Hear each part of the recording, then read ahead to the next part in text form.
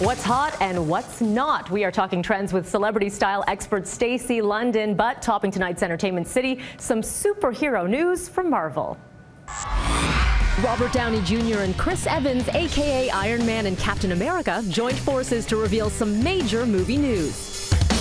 Marvel Comics will be releasing nine new films over the next four years, including an Avengers sequel called Infinity Wars, which will be split into two flicks with 2018 and 2019 release dates. Actor Chadwick Boseman has been cast as Black Panther, the studio's first black superhero, while the first leading female superhero will be hitting the big screen in Captain Marvel.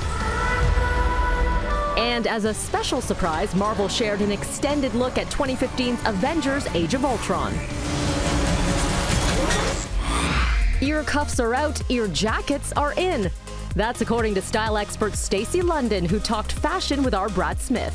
Very slouchy sweaters, very baggy trousers, blanket coats are huge.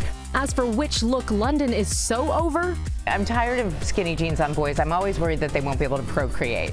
so I feel like a, you know a looser fitting jean is a better way to go. Best-selling author Sophie Kinsella is back with the seventh edition to her super successful series. In Shopaholic to the Stars, Kinsella's leading lady takes on Hollywood. In this one, uh, Becky goes to La La Land. I mean, it's like a Becky fantasy. It's shopping, celebrities, glamour. Declined. Can you try again? Really declined. Kinsella's series was adapted for the big screen in the 2009 hit Confessions of a Shopaholic. Could a sequel be in the works? Oh, I think it would be so much fun. And what would be fun is that in the book, I drop in loads of real life celebrities along the way to kind of make it real. Yeah. It'd be so much fun if they would all do cameos. Wouldn't that be great? the stakes are higher than ever on The Bachelor Canada. Only two women remain.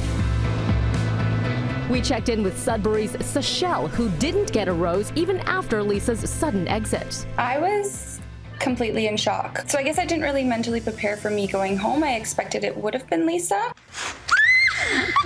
Trish brings out a goofy side of Tim, and I think he likes that. So I'd see Trish and Tim together.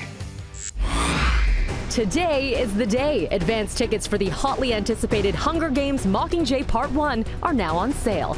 To celebrate, we're giving away a Samsung Galaxy Tab S loaded with the first two Hunger Games films. Find us on Twitter at EntCity for details on how to enter.